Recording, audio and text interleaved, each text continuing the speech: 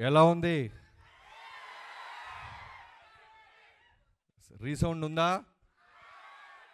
గండ్రగొడ్డలి పట్టిన యమధర్మరాజు ఎట్లున్నాడు? నచ్చింది కదా? మీరు చూసిన దాంట్లో డూపులు లేవు డూప్లికేట్ లేవు ఒరిజినల్ బాలయ్య బాబు.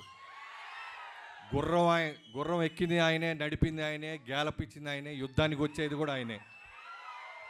ఒరిజినల్ షాట్స్ అన్నీ మీరు చూసినాయి సో థ్యాంక్ యూ తమనన్న. మళ్ళీ ఈసారి వాళ్ళ గట్టిగా. నన్ను ఎందుకు అన్నా అంటున్నావు?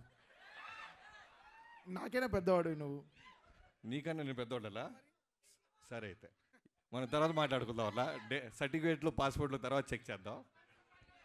సో ఎప్పటి నుంచో మీరు పేషెంట్స్గా వెయిట్ చేయటం థ్యాంక్ యూ సో మచ్ ఇంత క్వాలిటీ ఇవ్వటానికి ఏదో రెగ్యులర్ సినిమా లాగా మేము ఎవరం చూడలేదు. నేనైనా నాగవంశీ గారైనా మొదటి నుంచి ఈ సినిమా అనుకున్న దగ్గర నుంచి ఇప్పటిదాకా బాలయ్య గారు చేస్తున్న సినిమాలు ఏంటి ఆయన ఫిల్మోగ్రఫీ ఏంటి? ఆయన సృష్టిస్తున్న రికార్డ్స్ ఇవన్నీ చూస్తూ దృష్టిలో పెట్టుకొని ఎప్పుడు చూడని బాలయ్య బాబుని.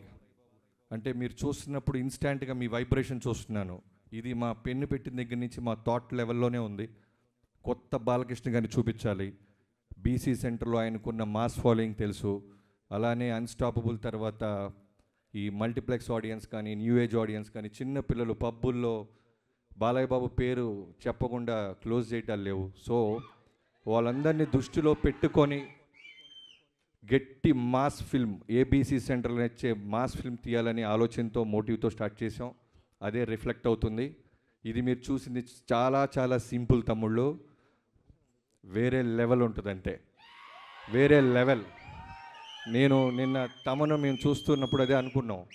స్పీకర్లలో నీ మీద నా మీద కేసేస్తారు అలా ఉంటుంది ఈ సినిమా అని.